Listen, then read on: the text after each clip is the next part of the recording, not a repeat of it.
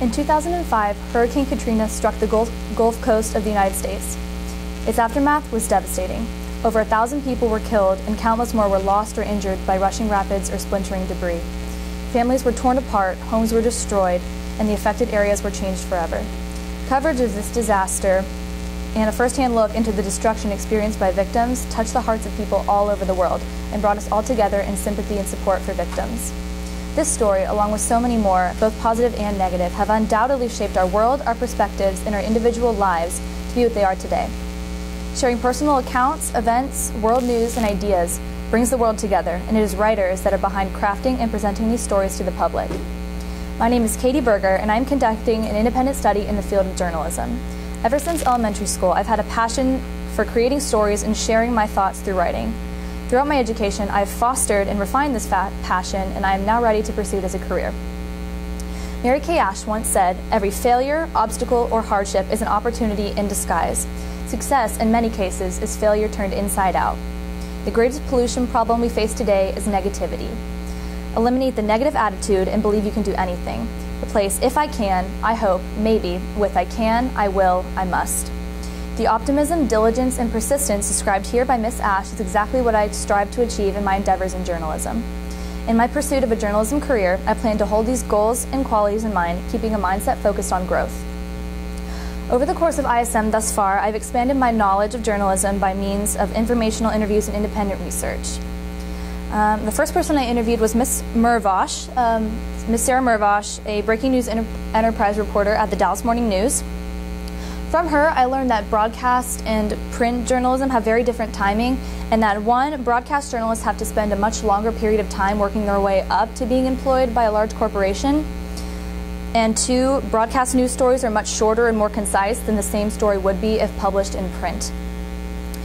Um, because broadcast journalists have to start at low kind of local stations and kind of work their way up through producing reels and so forth, they take a much longer time to get employed by maybe like CNN or NBC, while a print journalist could go straight to being employed by, say, the Dallas Morning News if they wanted to. Also, um, because broadcast journalists only have a few minutes to present a story, they have to be more concise, um, while a print story can focus more on background details and include more quotes from sources if they want to. Because technology is rapidly developing and more people are looking to get their information faster, Ms. Mervosh told me that publications, including the Dallas Morning News, are focusing primarily on publishing information online rather than in print. The internet is where they can reach more people in a shorter amount of time while keeping the information up to date. Obviously, as a journalist, talking to people and getting their point of view on a story is crucial. However, there is inevitably going to be people that don't want to talk to you. How they refuse to comment will vary, but this process builds thick skin um, by getting used to the process of rejection, which helps the journalist build persistence and get used to the process of acquiring sources. My next interview was with, was with Miss Rebecca Silvestri of the Plano Profile. She's the executive editor there. As editor of a local magazine, she placed emphasis on the importance of getting out into the community to find stories to write about. Although groups do come to the magazine in hopes of advertising their business, the main way that they get stories to publish is by word of mouth. Writing about unique events that locals are talking about ensures that the information being published is something that is genuinely of interest to the magazine's readers.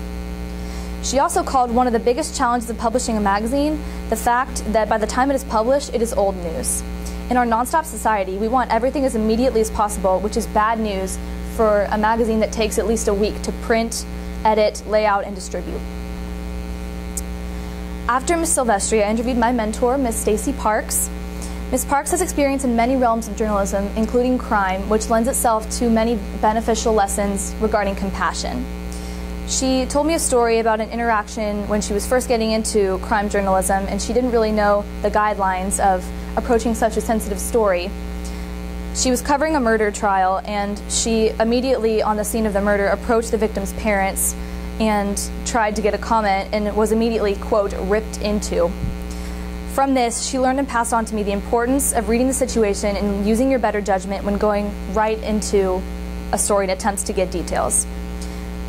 Having compassion when talking to these sources is crucial because in order to get a truthful and genuine response, the source has to trust you and at least want to talk to you.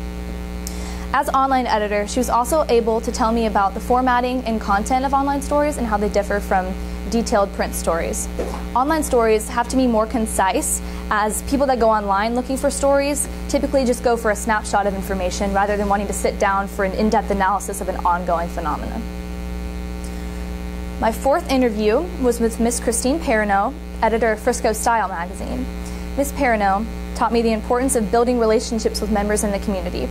As she focuses on the close-knit community that is Frisco, she obviously has less new and exciting information to work with than someone covering a larger area such as Dallas would. This being so, building friendships with as many diverse groups and people as possible ensures that she finds out about anything new happening within any realm of the community. After that, I interviewed Miss Stacy Gerard, the editor of the Home and Wedding section of D Magazine. This was a very different experience for me, but it was very beneficial because she was offered to she was able to offer me a new perspective on the magazine experience, as she called it, she explained the difference between online and print journalism as sitting down with a magazine as an experience in and of itself. Turning the pages and holding it in your hand is just not the same as reading a few facts online. She, because she focuses on the more like fashion forward and glamorous aspects of journalism, if you will, it was a very different point of view for me, but it was very beneficial. My sixth interview was with Miss Sonia Azad, the Emmy Award winning health and wellness correspondent at WFAA. The only broadcast journalist I interviewed, Miss Azad was able to give me a look into how being on TV differs from writing for a magazine, literally. As I walked into our interview, Miss Azad was walking into the office, and suddenly a breaking news story flashed across the TV. She picked up her pace, had me follow her into the dressing room, and she turned up her TV and said, Sorry, I just want to watch this. I have to be talking about this event in 10 minutes on live television. So this really showed me, it's allowed me to see for myself how adaptable broadcast journalism has to be at all times because the news never stops, it's always changing. And broadcast journalists have to act like they know what they're talking about at all times. I realized for myself how composed they have to be at all times and how being on TV is something that you really know that you have to, something that you have to know that you really want to do in order to be on TV. I was also taken with her Emmy Award winning story, Passage to India. She traveled into India and documented the entire experience with a camcorder she brought in an airport gift shop. So this was extremely like interesting to me because it showed me just how important visuals are in journalism because whether it's with a print story or a broadcast story, being able to see the image that you're talking about, no matter how descriptive the diction is, if you were to write it in a print story, is an unparalleled experience for a reader. My last interview was with Ms. Valerie Wigglesworth of the Dallas Morning News. Ms. Wigglesworth emphasized again the importance of making your presence known in the community and cited several specific examples of ways that the more people you know in the community, the more stories will find their way straight to you. Because she covers the Collin County area strictly, any story that presents itself, no matter how small, is a valuable one. In addition to interviews, I conducted independent research on social media's role in changing the journalism industry. Having social media presence is essential for journalists, as it allows us to stay up to date on breaking news that, as it comes in.